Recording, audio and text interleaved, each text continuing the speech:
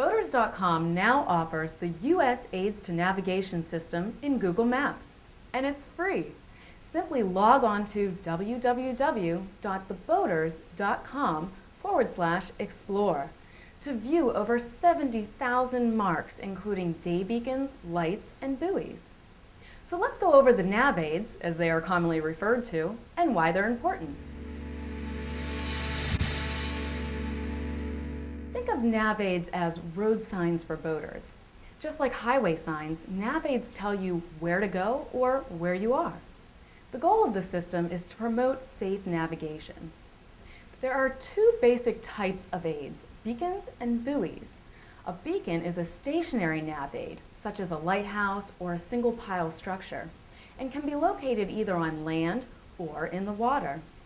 Lighted beacons are called lights, while unlighted beacons are called day beacons.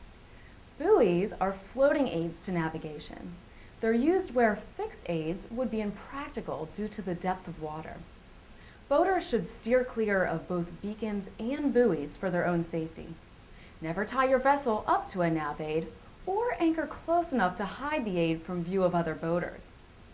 Each aid's function can be determined by its color, shape, light characteristic, and sound. Some nav aids are part of the lateral system, while others have no lateral significance. We'll go over the lateral system in part two of our series, and the non-lateral aids in part three. First, let's go over the lateral system. Lateral nav aids indicate which side of the aid a vessel should pass when entering a channel from seaward. For example, green-colored odd-numbered aids should be left to port, while red-colored even-numbered aids should be left on your starboard side. Some mariners like to remember the rule red right return, meaning when you're returning to a harbor from a bay, for example, keep the red aids on your right. Or if you're cruising the border of the United States, you should keep the red markers between you and the mainland. We should note that this is the lateral system used here in North America, but the system is somewhat reversed in other areas of the world, such as Europe and Africa, so don't get confused if you happen to cross the pond. Preferred channel marks often mark a wreck or obstruction. The color of the top band indicates the preferred channel. So if the top band is green, the preferred channel is to starboard. Often a vessel may pass this type of aid on either side, but a nautical chart should be consulted first before making a determination. Check out part three of our series to explore nav aids without lateral significance.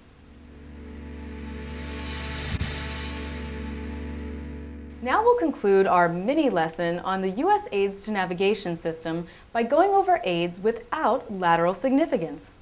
Let's start with safe watermarks. They have red and white vertical stripes and indicate that there is navigable water all around the mark. Not to be confused with isolated danger marks that are black with one or more red horizontal bands. These are positioned on or above an isolated danger, but may be passed on all sides. Diamond-shaped dayboards are used in conjunction with the appropriate nautical chart simply to determine your location. Range boards will help you maintain a safe course within a channel. These aids work in pairs. By lining up the day boards, you will put your vessel on the range line. Often these marks are lighted and can be very useful at night or during other times of reduced visibility. Information and regulatory marks will be white and orange in color. These will mark the no wake areas, boat exclusion areas for swimmers, or danger due to shoal areas, just to name a few. Yellow special marks point out particular areas such as traffic separation schemes, designated anchorages, or even military exercise areas. And finally, if you've done any boating on the Intercoastal Waterway, you may have noticed unique yellow symbols on the nav aids located there. Little yellow triangles, squares, and horizontal bands simply identify these aids as marking the ICW. Nav aids, I know, there's a lot of them, thousands of them, and the United States Coast Guard is responsible for their placement and maintenance. But they can't possibly keep track of all the aids by themselves.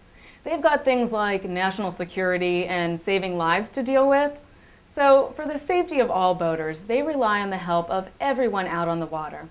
If you discover any type of problem with an aid, be sure to report it by radio or phone to the nearest Coast Guard station. Navigational aid changes are updated weekly in the USCG Local Notice to Mariners. This is an important tool that should be used along with the appropriate nautical chart. For more information, visit the U.S. Coast Guard Navigation Center online at www.navcen.uscg.gov. And that'll do it for our NavAids 101 series.